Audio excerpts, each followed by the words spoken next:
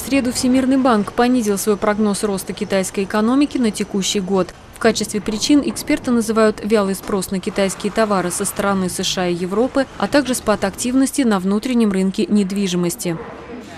Как показывают недавние комментарии премьера Вэнди Абау, китайские власти также обеспокоены этими показателями.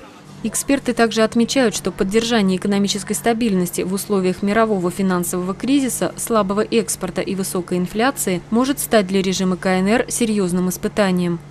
С целью смягчить валютную политику для стимулирования внутреннего спроса, две недели назад власти Китая снова снизили требования к банковским резервам. Это произошло уже в третий раз за последние шесть месяцев. В ходе своей недавней поездки в провинцию Хубэй китайский премьер Вэн Цзябао подчеркнул необходимость расширения спроса на внутреннем рынке. Впрочем, некоторые экономисты уверены, что при нынешних условиях это по-прежнему невозможно. Слова премьера Вэня в отношении стимулирования спроса на внутреннем рынке очень хороши, но они невыполнимы. Многие банки не могут выдавать суды, поскольку никто не хочет их брать. Интерес к капиталовложениям в бизнесе тоже падает, в результате сокращаются рабочие места и зарплаты. Доходы многих людей сильно снизились. В таких условиях выправить спрос на внутреннем рынке невозможно.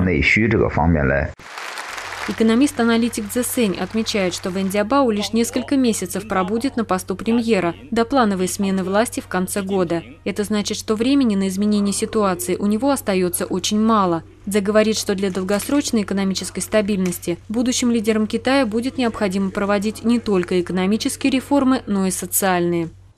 В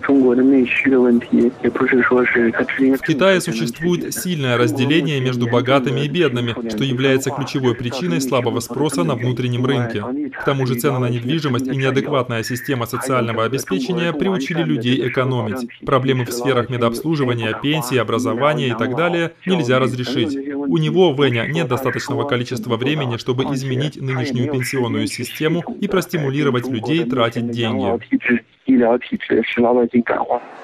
Экономический рост для китайского коммунистического режима всегда являлся одним из способов поддержания в обществе так называемой стабильности. Некоторые независимые аналитики полагают, что делая акцент на экономическом буме, власти пытались отвлечь внимание народа от проблем в области соблюдения прав человека. Теперь этот способ, возможно, перестанет работать, особенно когда степень общественного недовольства в КНР очень высока.